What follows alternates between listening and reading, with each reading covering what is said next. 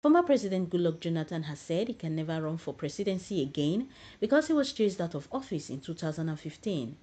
He stated this in a book, My Time as Chaplain in Aso Rock, written by Nathaniel Bivan, which details the accounts of the chaplain of the Aso Rock Villa Chapel during Jonathan's era, Obioma Onwuzurumba.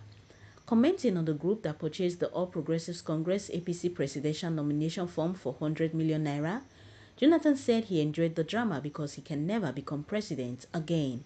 In his words, if you wake up tomorrow and see that I'm president again, that means there may have been circumstances beyond my control. But to go and pick one form and start lobbying people and running for campaigns, be it PDP or APC, and moving across Nigeria, I can't do that again. If I do that, I will diminish myself. Imisalami TV News.